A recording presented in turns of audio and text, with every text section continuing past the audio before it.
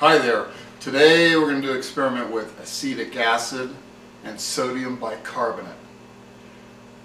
It's really just vinegar and baking soda. Take the vinegar, put it in a, normal jar.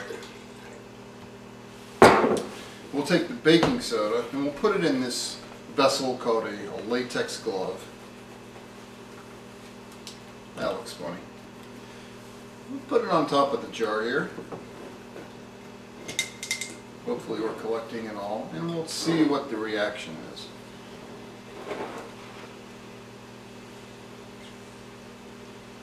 Nice! It's giving off a gas.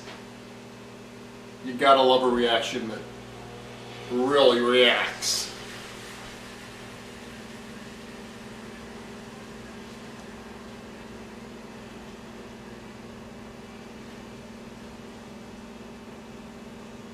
Carbon dioxide, oxygen.